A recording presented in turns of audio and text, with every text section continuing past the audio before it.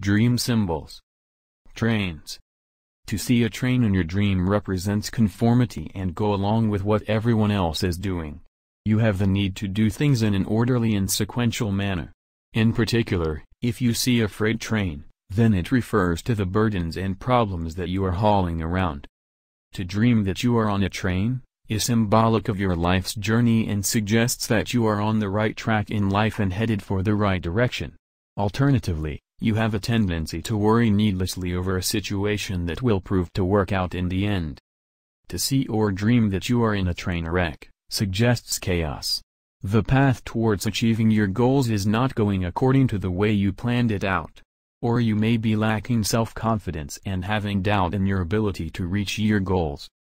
To dream that you are the engineer signifies that you are in complete control of a particular situation in your waking life. To dream that you miss a train denotes missed opportunities or nearly escaping your death.